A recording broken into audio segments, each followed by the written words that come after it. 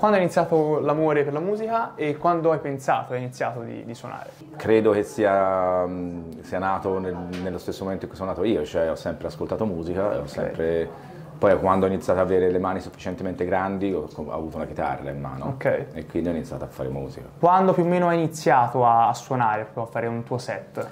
Io ho iniziato come, come musici, come chitarrista nelle okay. band, quindi i primi concerti li ho fatti in questo formato qui. E poi la storia è stata che io negli, alla fine degli, degli, anni 90 tutte le persone con cui suonavo volevano suonare cose difficili e io okay. non ero in grado e diciamo mi sono trovato un po' fuori dalle band e allora mi sono comprato un, um, un sequenzerino, una cosa che si chiamava una groove box della okay. band, orribile, per farmi le mie basi e per suonarci la chitarra da solo.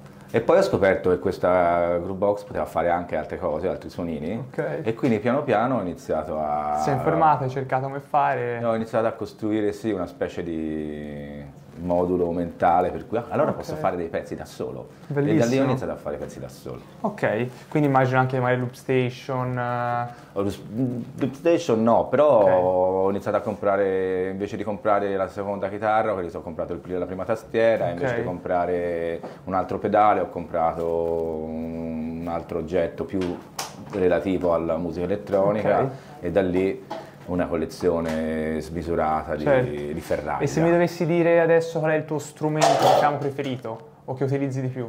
Diciamo al, negli ultimi 10-15 anni ho avuto la passione per la sintesi modulare, cioè per costruirmi certo. dei, dei, dei synth fatti con i moduletti e con certo. la, le, le, cose che volevo io. Okay. Però eh, alla fine la chitarra rimane sempre il mio strumento. Rimane... È quella che sto a suonare meno, infatti. Ok, chiaro. E, ehm, come invece eh, quindi vivi mh, la tua fase, diciamo, produttiva? Ecco, cioè ti fai molto influenzare, non so, da ciò che, che vivi o da ciò che magari hai già sentito e vorresti risentire, diciamo, in un'altra linea più cioè, gradevole alla eh, tua? Il mio problema è che, o, o, o, la mia qualità è che io ascolto pochissima musica elettronica. Ok. Quindi non è che ho delle grandi influenze di questo tipo. Eh, certo, magari vado nelle, alle serate, sento dei DJ e dico, senti che roba, okay. voglio rifarlo anch'io così. Certo. Però siccome non, non, ho una grande... Ehm, un grande Quindi parti da una un'influenza che potrebbe essere quasi appunto un punto di forza a quel punto. Sì, cioè non è, è una influenza mh, mm, più generale, cioè okay. mi piacciono certi suoni, mi piacciono certi certe progressioni Bello. di accordo, certe cose cerco di, far, di, usarli per fare le mie cose. Però Molto non c'è una grande influenza, cioè ci sono ovviamente degli artisti nel, nel mio campo che ammiro tantissimo okay. che dico ah vorrei fare un pezzo come quello, okay. però poi a farlo vedi che non è il pezzo, Ovvio. non è quello, non ti viene in quel modo e scopri che il pezzo è il tuo. Certo. Con le sue con i suoi pro e i suoi contro. Ok, e esce su qualche etichetta oppure musica che comunque crei per, per te personalmente? No, esco su, esco su tante etichette, cioè avrò fatto una trentina okay. di release per diverse etichette, ho anche io una etichetta ecco, personale okay. con Andrea Rucci. Ok, come si chiama? Si chiama Cosmic Sumo Recordings okay. ed è un'etichetta che portiamo avanti da 11 anni, io e lui.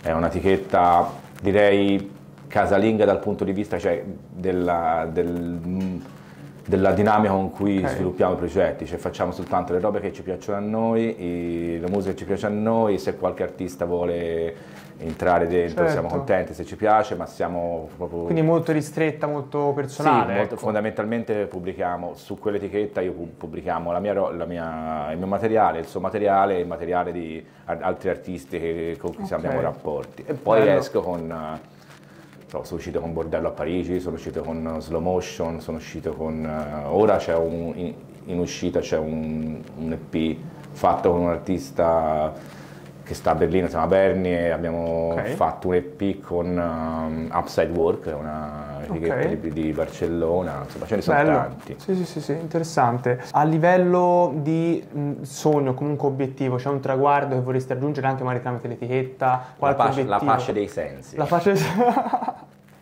Okay. Gli, obiettivi, gli, obiettivi, non me li pongo perché il mercato musicale fondamentalmente non esiste più.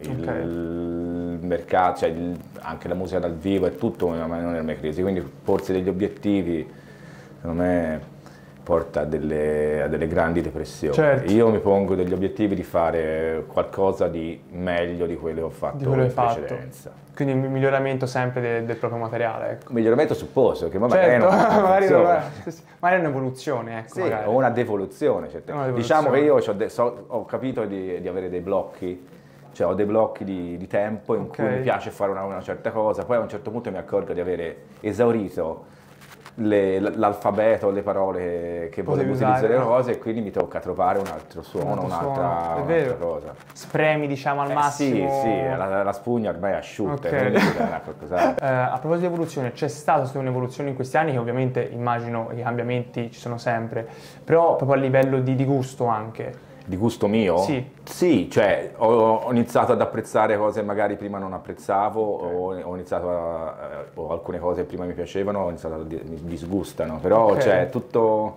Sì, sì, so, è un passaggio. Sì, è un- alla fine lo vedo come un, un- un enorme lasso di tempo in Sì. cui fai cose, Certo. ascolti delle cose.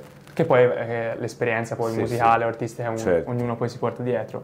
Ok, io ti, ti ringrazio, è stata molto Grazie a bello. voi per avermi invitato in questo splendido posto. Grazie mille. Quando vuoi passare siamo qua. Certo, ciao ciao.